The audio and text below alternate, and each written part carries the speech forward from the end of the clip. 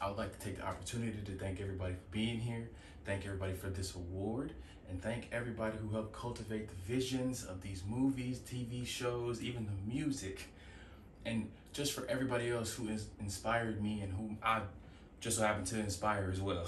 Um, sir, can we talk about why you're not wearing pants?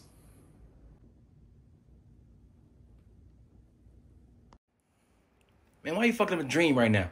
Can't your brother dream of success and peace? Damn!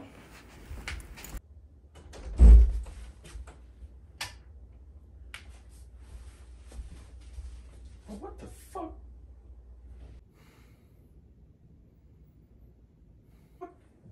Hey, bro. Bro. Man, why the fuck you waking me up? Nigga, cause you in the bed with a dress shirt on, talking to yourself like you won a damn Nobel Peace Prize or something. It was an EGOT, thank you very much.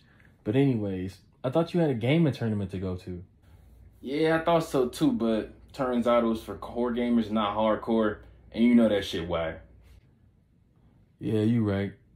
But man, let me get back to my dreams, man. Back to my dreams. Okay, weirdo. There's food in the kitchen. Yeah, yeah. Oh, I want a lifetime supply of yeeks. Don't mind if I do.